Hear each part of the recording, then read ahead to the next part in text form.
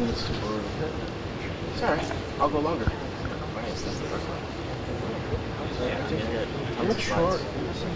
Could see fire from. That's okay. It doesn't oh, I matter. don't know if it's free. Yeah, but there's, I got it. Yeah, but there's the guy with his sign from five Yeah, we can start. I get that. Okay, fine. As long well, it's going to be efficient time, so like three hours. I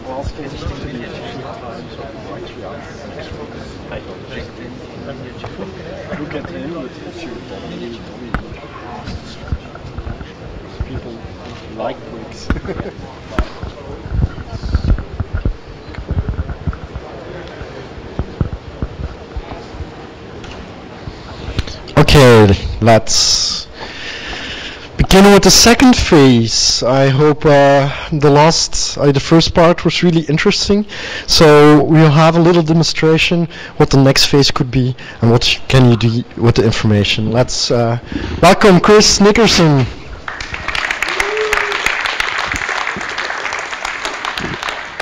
Is it like still really hot, or am I just still drunk? The guess is both. That's good. Um, hi, I'm Chris. Um, if you fall asleep, that's cool. I'll throw something. I have a ton of stuff to throw. Uh, we're going to talk about stuff uh, affectionately known as, uh, as Chris would call it, breaking into shit. Uh, see, yay, breaking into shit. Um, no, I, want to talk about the reality of security and not the hypothetical world of security where everybody's like, well, I could break into this. Well, then why didn't you? Well, I, I could someday. Someone could do. Good, show them. Like, don't don't continue this scale of telling everyone what could be done because they're not going to respond. It's it's the sky is falling mentality that's got us into the problem that we're in. You have all these testers going, the sky's falling, and the executives go, no, it's not. Look, there's nothing falling. Make it rain. Make it fall. I mean, show them exactly how horrible the world can be, and then they're like, I'm so happy you're on my side. And now we need to fix stuff. So that's what we're going to talk about, okay? Cool. Um, I love myself. That's me. Whatever. I've done security stuff all over the place. Um, I don't know how much else to say about it. I run a podcast that I rant and rave and swear at people the whole time, and we talk about security once in a while.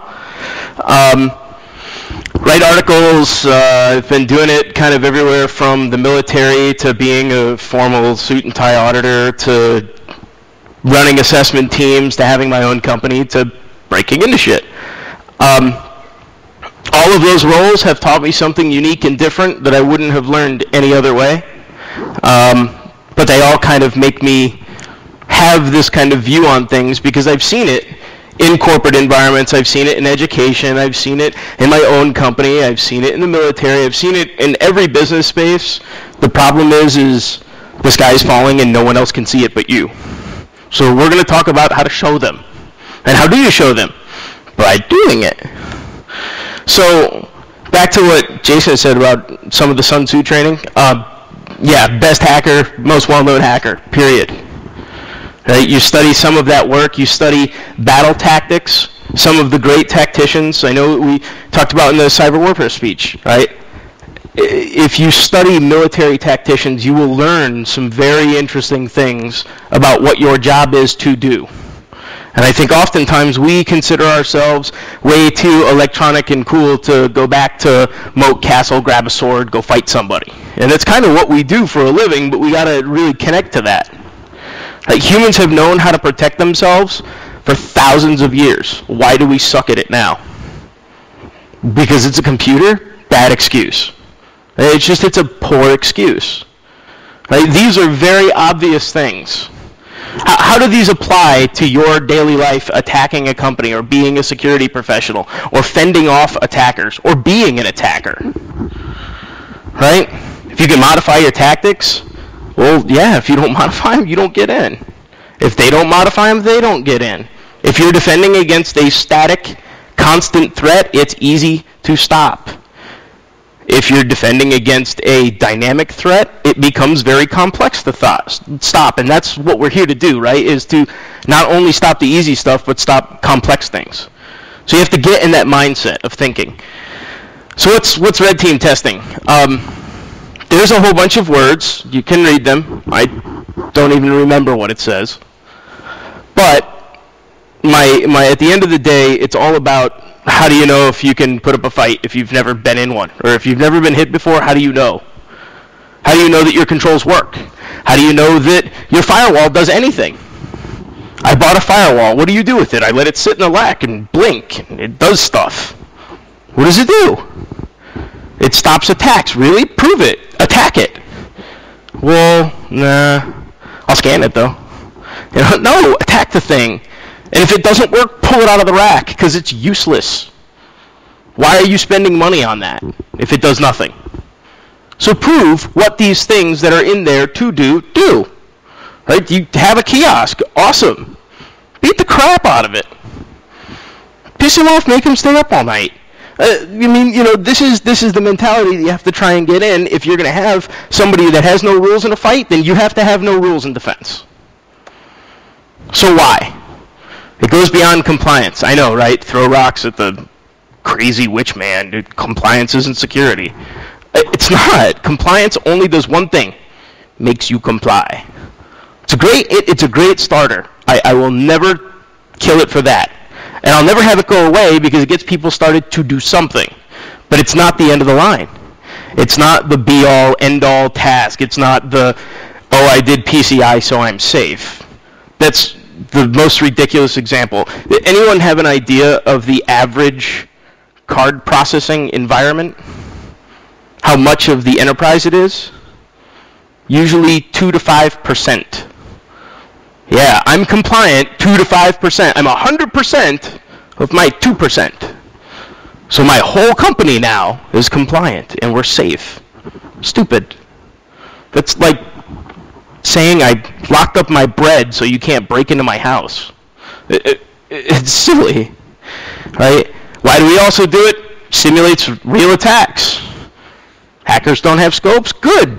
You're a tester. You're trying to simulate being an attacker? Be an attacker. You don't have a scope anymore. Why? Because attackers don't. That's what you want me to do, right? You want to see if a bad guy can get in? I'm going to be a bad guy. And I'm going to do it well. I'm going to look at all the intel. I'm going to take my time. This is not a race. Race to shell means you're not doing your job right. It's all about elegance. It's all about being complete. It's about doing it in a standard process and getting achievable and trendable results consistently and being dynamic at the same time. It's possible, right? It's possible to have a process that moves all over the place and still get consistent results. Because that's the problem that management always says. Oh, well, if you do it however you want, you can't be consistent. You're wrong. Attackers are consistent, they consistently win. Okay? 1% of your assets we talked about. And at the end of it, you never know the value of anything in your life as much as you do when you do not have it anymore it that a significant other, a family member, the $50 that you thought you had in your wallet when you went out drinking and then you didn't in the morning. Don't worry, you didn't lose it, you just got drunk. But these are the things that, that, oh, all of a sudden I'm concerned. I don't have it. I go into my server room. There's no servers. This is a big concern for me. I had servers here yesterday. Right? You think somebody's going to react and change the lock on the door when they go into the data center and there's no servers? Answer, yes. Okay.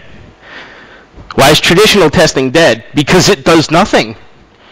I mean, it really does. It doesn't do much for you. All it does is say, okay, you know, that's like saying, all right, Chris, I, I want to fight you on a Wednesday in March after I've trained for like eight months, but you can't do anything, and you have to have this leg tied to this arm, and you're not allowed to hit me. So I figure that'll test my fighting ability.